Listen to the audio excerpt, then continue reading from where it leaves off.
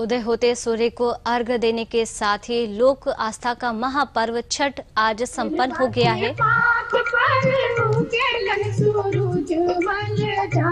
जहाँ राजधानी लखनऊ के गोमती तट पर छठ महापर्व का आयोजन किया गया था, जहाँ हज़ारों की संख्या में व्रती महिलाओं ने अपना अनुष्ठान पूर्ण किया। तीन दिन से चल रहे व्रत का आज समापन हो गया है। महिलाओं, बच्चों एवं उनके परिवारीजनों में श्रद्धा एवं उल्लास देखते ही बना था। भोर में ही लोगों ने नदी में खड़े होकर सूर्य के उगने का इंतज़ार किया। उदयमान सूर्य को व्रती महिलाओं के परिजनों ने जल और दूध से अर्घ दिया।